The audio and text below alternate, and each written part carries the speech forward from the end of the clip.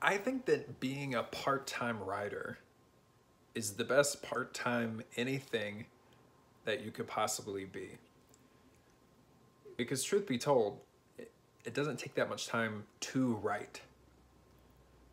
And the rest of the writing process is observation, it's living your life, it's studying, it's working, it's coming to these conclusions and gathering the stories that you would then write about.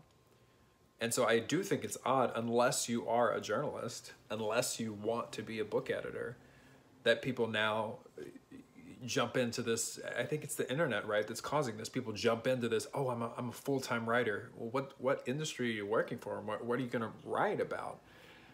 And so I think most people would be better served getting a job and writing about what they learned there. And that's the most old fashioned advice that I can possibly think of. But I think it's real. So, Lucas, uh, thanks so much for the love. Thanks for the response. Thanks for making me think. And I uh, hope you keep in touch. Cheers.